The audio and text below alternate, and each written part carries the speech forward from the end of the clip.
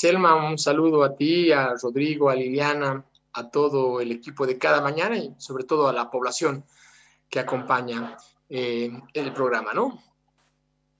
Bueno, varios temas para hablar, Álvaro. Comenzaremos con este tema que no sé cómo lo estás viendo, que decíamos parece no tener salida, parece encontrarse en punto cero, que es el conflicto de, eh, sobre la distribución del 45% del IDH en Tarija. Este viernes se han reunido los municipios eh, no chaqueños, vamos a decirlo, de Tarija, y han aprobado hacer una nueva propuesta de ley de distribución equitativa. Bueno, eso lleva al, conflicto en un punto cero, porque la exigencia de la gente del Chaco, eh, que están aquí en huelga de hambre en la plaza de Tarija, están haciendo un bloqueo contra, contra el resto del departamento, la exigencia es que se archive para siempre este proyecto de ley. Y bueno, ahí estamos, ¿no es cierto? Eh, eh, no se vislumbra un punto medio. ¿Cómo la ves? Bueno, Rodrigo, eh, siempre cuando hemos hablado de este tema, hemos manifestado que el camino, lo hemos dicho siempre, que cualquier camino es a través de establecer el diálogo y seguramente con mesas de trabajo donde se pondrá eh, ahí a negociar el tema administrativo, legal, las reivindicaciones. Creo que ese es el camino, lo hemos manifestado no solo ahora, sino antes de que inicie el, eh, o se agudice, por decirlo así, el conflicto, Rodrigo. Creo que es el, el camino, el sentarse, dialogar, establecer, establecer eh, los puntos de vista, todos los antecedentes que puedas tener, la normativa que tienes vigente. Entonces, en base a eso, eh, tienes eh, que, dialogar, Rodrigo, ¿no?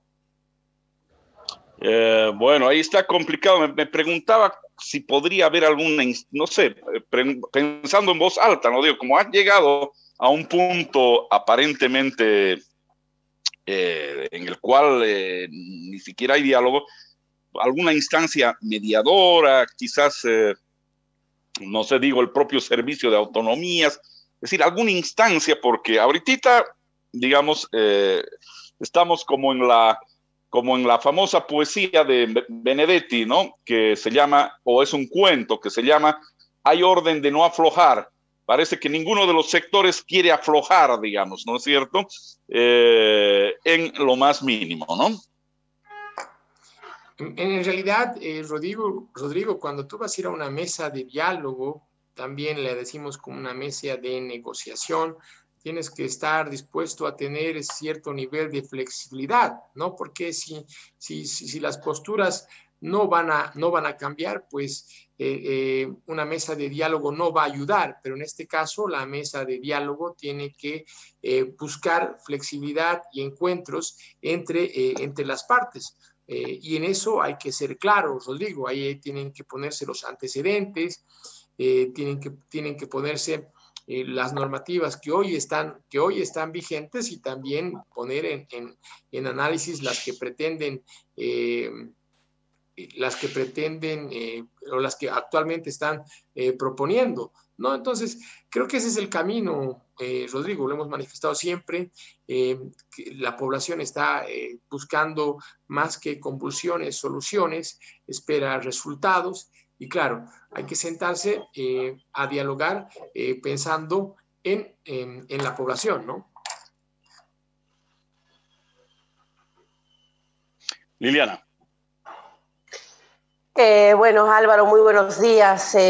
pasando a otro tema, ya dejando de lado ese tema que creo que, bueno, Rodrigo ya, ya, ya, ya, hizo las preguntas correspondientes y ya has contestado. ¿Cómo estás viendo el tema de la ley 14? 07, Álvaro. Liliana, yo lo estoy viendo em, que eh, nuevamente están utilizando una, una excusa como para querer desinformar al, país. Eh, muchas veces es más fácil los ejemplos más allá de los argumentos técnicos, administrativos y legales. Pero lo que sí, Liliana, está claro es que cualquier país del mundo más allá de su um, forma administrativa, política, económica, tiene que tener un, plan. No hemos tenido la oportunidad, Liliana, de haber sido alcalde en la gestión pasada y también ya sé, eh, llevó adelante el primer PEDES, ¿no? O sea, hay un plan a largo plazo, ese plan a largo plazo se divide en dos planes a mediano plazo, ¿no? Y bueno, en 10 planes a corto plazo, que son los POAS que los conocemos, ¿no? Eh, voy a aprovechar la oportunidad para dar dos ejemplos puntuales. En este caso, por ejemplo, permítanme presentar lo que ha sido el plan de desarrollo del gobierno departamental de Tarija. En ese entonces era el gobernador Adrián Oliva y también hace un PTDI del 2016 al 2020. ¿No? Y donde en ese tiempo no hemos escuchado de ningún asambleísta, de ninguna autoridad que hubiera vulnerado a las autonomías.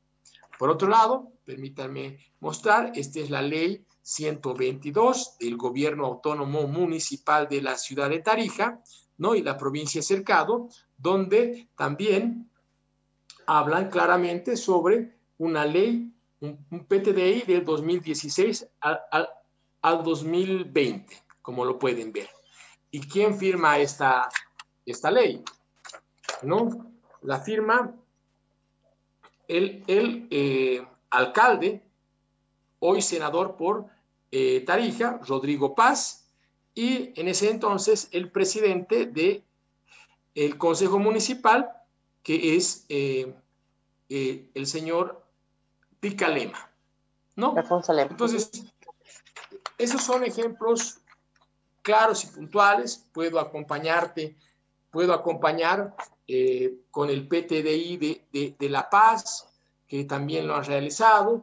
Puedo acompañar con el del gobierno eh, autónomo departamental de Santa Cruz, ¿no? Eh, también eh, hay, por ejemplo, tienes el de la alcaldía de la ciudad de Santa Cruz de la Sierra, donde hoy el actual alcalde, Johnny Fernández, quien tiene algunas observaciones, también hacen la ley del PTDI. Entonces, está claro que es importante tener un norte, bien definido, ¿no? Y donde tienen que eh, el gobierno que va a impulsar eh, eh, el tema de la industrialización y lucha, perdón, industrialización y lo que es la sustitución de importaciones, pues el gobierno va a impulsar también a través de políticas y programas.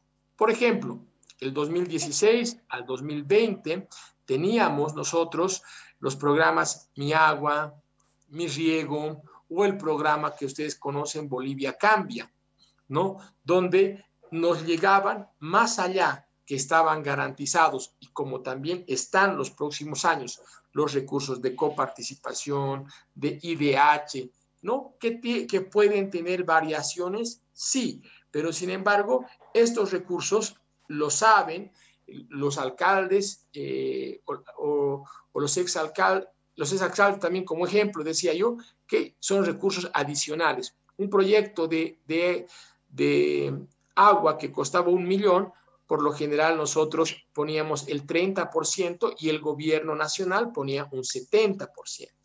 Entonces, eh, no, hay, no hay vulneración para nada a las autonomías. Álvaro, respecto a ese tema de la ley 1407, es decir, tú eres viceministro de autonomías, hay eh, observaciones claras que permiten, en todo caso, eh, discutirlas. Eh, primero, tú has dado como ejemplos proyecciones de los diferentes alcaldes en su momento, obviamente proyecciones que van, digamos que a, mediano plazo, que sobrepasa tal vez gestiones en las que ellos estaban ejerciendo como tales. Sin embargo, esta ley 1407, según las observaciones que realizan, eh, estarían eh, obligando, eh, bajo el término alineación, alinearse a las proyecciones que tenga el gobierno nacional que, según el alcalde Johnny Torres, estaría cortando la autonomía, retrocediendo 20 años, según lo que dijo. ¿Qué opinas sobre esto? Reitero que el, el señor Johnny Torres debería reunirse con su presidente, director ejecutivo de la AMB, quien es el señor Picalema, que en su momento también firmó su ley, su PTDI dentro de eh, ese marco que corresponde. O sea, hay un marco, Selma, donde eh, se habla de lo que va a ser el plan de desarrollo del país. Y el plan de desarrollo del país no se puede realizar si no se contempla todo el Estado. Lo, que... Son los gobiernos departamentales y son los gobiernos municipales. Por eso yo te transmitía, los ejemplos, ¿no? Muy claros, que muchas veces son más, Álvaro, más eh, explicativos estoy, que los argumentos estamos partiendo, lo que tú estás diciendo, básicamente, lo que yo estoy entendiendo es que esta ley del PDS es igual a la ley, ley de hace cinco años bajo la cual se han hecho sus planes que has mostrado, ¿no es cierto? Correcto. Y, está claro que en esos cinco años, eh, querido Rodrigo, no ha habido ninguna vulneración a las autonomías. Y, lo, y hay autoridades que en ese momento o hay autoridades actuales, como el senador de, Tarija, que en ese momento era alcalde y yo que recuerde no ha existido ninguna observación.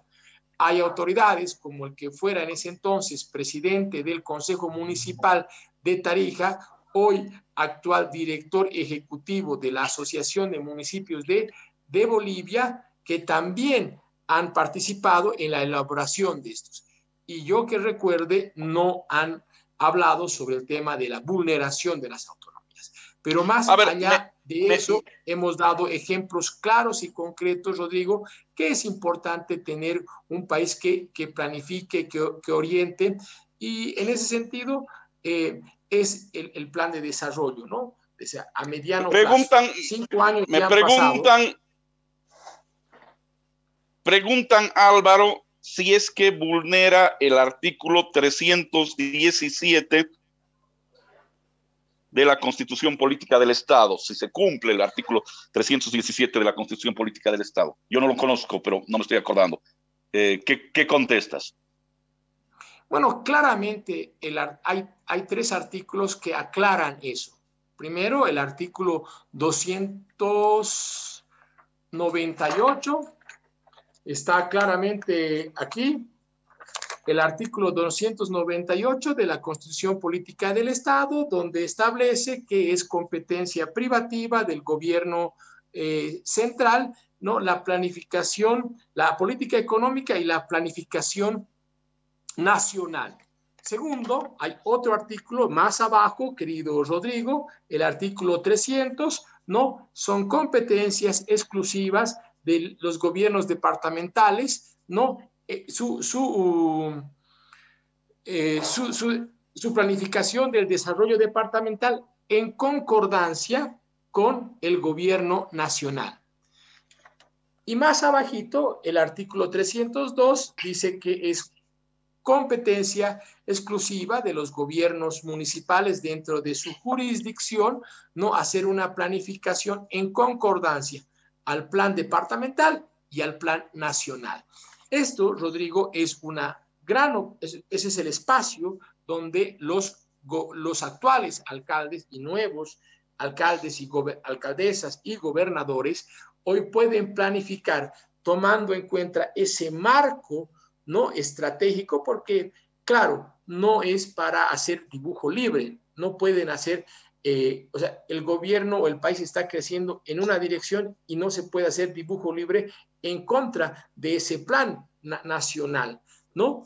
Y ahí, por ejemplo, tenemos uno muy interesante, Rodrigo, la planta de tratamiento de aguas residuales en, en, en Tarija. Mi pregunta es, Así como ese proyecto, van a haber otros proyectos que requieran de la participación y el apoyo del gobierno nacional o posiblemente de organismos internacionales. Y que el gobierno apoye a la ejecución de ese proyecto no es vulnerar la, la autonomía, al contrario, es fortalecerla. Y ese es el camino. Yo te explicaba cómo hemos visto la construcción de mercados, como el mercado Bolívar, como el mercado Avaroa en la ciudad de Tarija, que han requerido del apoyo del gobierno nacional, ¿no? Respetando obviamente la, la autonomía. Entonces, no existe ninguna vulneración a los gobiernos autónomos municipales ni a los gobiernos departamentales. Sí, eh, están queriendo agarrarse sobre el artículo que tú has mencionado, pero claramente se establece en los artículos de la Constitución, ¿no? Eh, en, estos temas. Y ejemplos, muchas veces, Liliana, Selma, Rodrigo, los ejemplos, ¿no? Eh, nos permiten entender mucho más, de manera más fácil. Y es en ese sentido, bueno. Rodrigo, que he planteado estos ejemplos donde las leyes del del ex, del ex, ex alcalde, hoy senador de Tarija, pero contradictoriamente reclamando y confundiendo, ¿no? Entonces muestra lo importante que es la planificación y el nivel de concordancia que tiene que existir con el nivel central del Estado. Bueno, para ir cerrando, Álvaro, te doy mi criterio igual que lo he dado a todos los entrevistados sobre este tema, sobre este tema específicamente. Yo personalmente creo que si no hay un artículo en la ley que pueda obligar a los municipios o gobernaciones a definir sus acciones de manera directa. Es decir, que, que el, Ministerio de Obras Públicas le diga, por ejemplo, a la gobernación o a la alcaldía de Tarija, no construya este camino allá, construya allá. Yo creo que no vulnera eh, eh, la autonomía porque a mí me parece normal, lo he dicho, lo digo con la sinceridad intelectual que tengo. A mí me parece normal que todo país, ese no es un invento, ¿no es cierto? Eh, tenga políticas nacionales, por supuesto, ¿no es cierto? Que son las mismas, nadie se inventa nada, ¿no es cierto? Eh, carreteras, salud, eh, cambio climático, etcétera, etcétera. Y que por supuesto los gobiernos puedan decir, departamentales, municipales, puedan decir, mi obra va aquí, mi obra va allá. Evidentemente, si como dices tú, la ley es igual a la de hace cinco años, evidentemente no hay problema, porque no ha ocurrido eso ni se, ni se mantiene eso. Bueno, ese, ese, es el punto de vista que yo doy, que conozco el tema, seguramente hay muchos otros puntos de vista, en este caso específico de la ley 1407.